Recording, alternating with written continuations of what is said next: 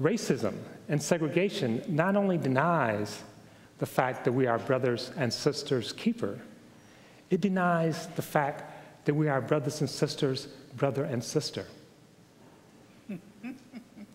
it's an expression of disconnectedness. It's an expression that denies the interrelationship between the human family. And it's this denial that challenges us today.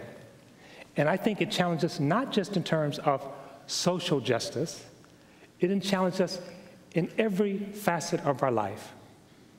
Whether we talk about the environment, whether we talk about spirituality, whether we talk about social justice. If we deny our interconnectedness, then all of our other efforts will fail. Race is socially constructed through the way we arrange space, the way we arrange institutions, the way our unconscious works, but it's not inevitable. We're wired to see others, and we're wired to connect. We're wired to differentiate, and we're wired to connect with each other. Which of those become most salient and most dominant depends on us. But not just as individuals, us collectively, and us in terms of how we build our institutions and structures. And that is the challenge we face today. Thank you.